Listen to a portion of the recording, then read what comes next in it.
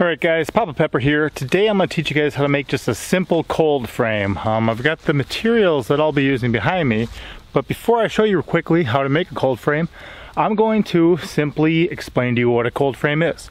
So a cold frame is normally going to be some sort of structure. They're normally low to the ground, and they're going to have a transparent top. For me, I'm using this big window there, got uh, from my neighbor, and uh, then it's going to have some sort of walls. I'm going to be using six straw bales.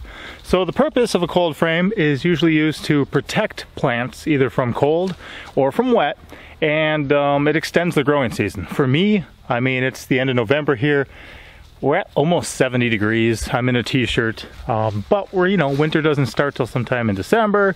Then we've got January, then we've got February before things really start warming up again. So I'm gonna make one and I'll actually be planting in it. The, the area I'm using is gonna be right behind me. Um, got some good soil there, but there's nothing planted in there right now, so I'm actually going to be planting in it and actually just growing some sort of winter crops. Um, got a couple ideas. I'm also going to ask for some suggestions. Um, anything you want to see me grow. I've got a lot of seeds for about everything, so I'm just wondering what would you like to see, and let's test how it works out. Whatever it is, it's going to be more food than my garden would produce if I wasn't planting something, if I wasn't building a cold frame, but we're going to show you guys real simply, real easily, just how to do this. So pretty much that's a rectangle. Those are little rectangles. I figure one on each end, two per side. I'll figure it out on the ground level there. Put the uh, put the sheet of glass on top, and we'll have it done. So check this out.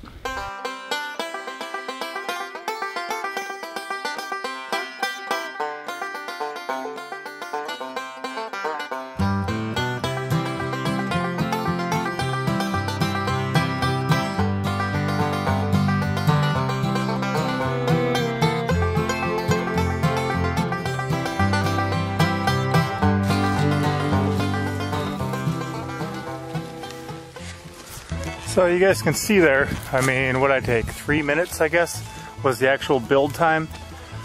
That was it. You know, I sped it up. I don't really work that quick. But it's about that simple. What I'm actually gonna do, because I need some straw to cover some beds, I'm gonna shorten that end bale so it actually tucks inside there. And uh, make it just a little bit more airtight, I guess. You know, it'll still have a breathability to it. But this is it, guys. Every one of these resources I can still reuse. I can still put that window, you know, inside a uh, inside a building I'm building. I could give it back to my neighbor and say, hey, thanks for letting me borrow it through the winter. The straw I can still use in the future as animal bedding or, you know, covering different uh, different beds, you know, save it till next fall and use it to cover some beds. But that's that simple, guys. So now comes the point where this is all the easier it needs to be. That was technically free. I think the straw bales cost me five bucks a piece. I was buying them anyway. I can still use some this year, but it's it's that simple, you know. You can make them a lot cheaper than that. You can make them a lot easier than that. But that's what we uh, had laying around. That's what I'm doing. So now comes the question of what do you guys want to see me growing here? I plan on planting some cilantro because it apparently does really well. We were just harvesting it fresh the other day, even after a couple freezes, even after some snow, even after some sleet. But, you know, there's a lot of different greens that do pretty good, other things. What do you want to see me growing here? Leave a, uh, leave a comment. And uh, I'll see if I got seeds for it and we'll get some things growing.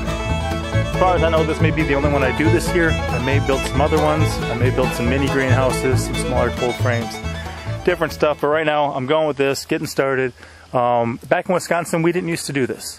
Um, and I haven't grown anything like this since I moved down to the Ozarks either. So this will be my first time giving it a try, testing out, see what you think uh, I should be growing, and I'll let you know how it does. All right, Papa out.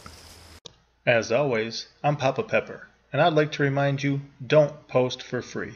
If you'd like to be part of a revolution in social media, an economic power to the people where users can actually blog for cryptocurrency, then I'd recommend that you check out steemit.com and join the revolution.